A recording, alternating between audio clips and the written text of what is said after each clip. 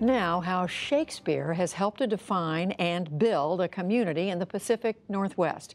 Jeffrey Brown reports from Ashland, Oregon, as part of our American Creators series. A production of William Shakespeare's Julius Caesar with a twist. Caesar was played by Vilma Silva, a Latina woman. I was Caesar. Lots of Not explaining, obvious right? casting, yeah. No, it Yeah. wasn't. The news spread pretty quickly in the town, and I was shopping in Bimart, you know, one of our local shops here, and from down the aisle, I heard someone go, "Hail Caesar!" And I was like, and this has just been casting. I hadn't even started rehearsals, and I looked down the aisle, and there was this woman, and she was so excited. It's the kind of community engagement, high quality production, and casting decisions that the Oregon Shakespeare Festival has become known for. All taking place in the small town atmosphere of Ashland, in a beautiful rural part of southern Oregon. Part of why I fell in love with this theater company was its location. I think it being in a relatively isolated rural area surrounded by all this incredible natural beauty um, is part of what made my heart sing. Bill Rauch has been artistic director here since 2007, helping grow it into one of the country's most important regional theater companies. I'm here to do the best production of The Winter's Tale. He'd started his career in even smaller settings, touring communities of fewer than 2,000 around the country, with a group called Cornerstone, dedicated to bringing theater to rural areas of America that rarely see productions. When we were in college, a bunch of us who started Cornerstone together, we heard a really damning statistic that only 2% of the American people went to professional theater on anything approaching a regular basis. Mm-hmm. And so we became determined to do theater for the other 98%. For you, it was a kind of mission. Absolutely, absolutely. A passionate mission. At OSF, as it's known, Rauch inherited a company that dates to 1935 and began as a tiny three day showcase of traditional Shakespeare productions. Today, the Bard remains a staple, but the festival has made a name for itself by commissioning new works, We offer to take 50% pay cut. sometimes provocative ones, by contemporary playwrights. Its 10 year American Revolutions project of new plays on American life included Lynn Nottage's Sweat, winner of the 2017 Pulitzer Prize. Cross the line, they work them to the bone. OSF now offers an eight month season of numerous productions in three separate theaters, some 800 performances a year. It's helped make this town of 22,000 a destination for theater lovers and for creative entrepreneurs. Sandra Slattery heads the local Chamber of Commerce. It's built a community based in uh, cultural appreciation.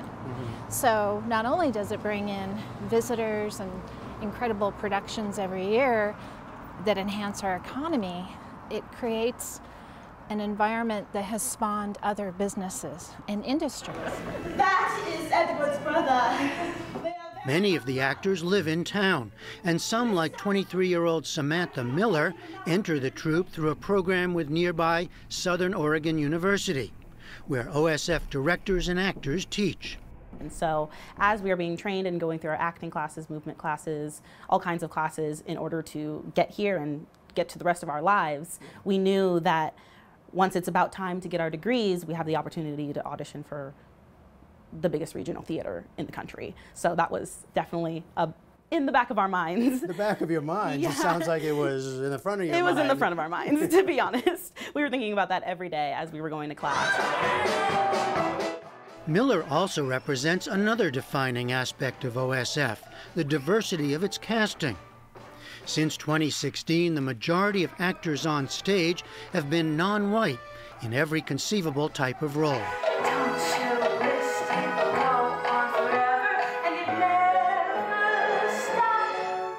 And one of this summer's hits, the musical Oklahoma, has same sex couples in the leading roles. Artistic director Bill Rauch.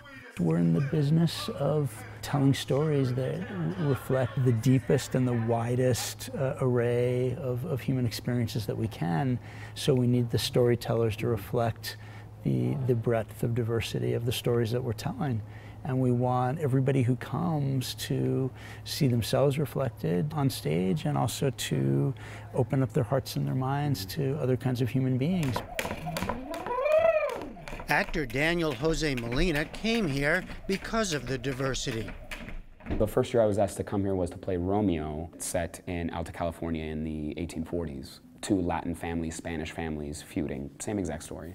But um, it, was a, it was a mostly uh, Latino cast. Once One of OSF's brightest lights, 29 year old Molina went on to perform many different roles, including a much acclaimed current turn as Henry V.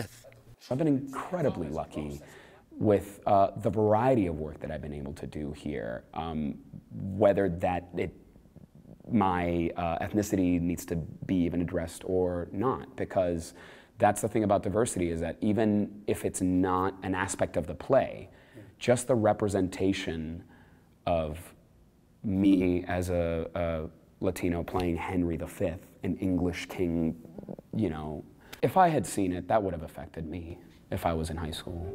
In fact, there's much more diversity on stage here than in the audience, and all involved know more work on that score needs to be done. And I have seen some progress in that. But yeah, it's something that it's a continuing effort um, because of who who has kind of grown up going to theater, who has the time to go to theater, who has the money to go to theater. There's always going to be those issues that we're addressing. Even as new productions begin rehearsals, artistic director Bill Rauch has announced he's leaving after 12 years to head up the new performing arts venue at the World Trade Center in Lower Manhattan. He'll miss Ashland's small town atmosphere, he says, but is confident the festival will continue to push boundaries and engage audiences. For the PBS NewsHour, I'm Jeffrey Brown at the Oregon Shakespeare Festival.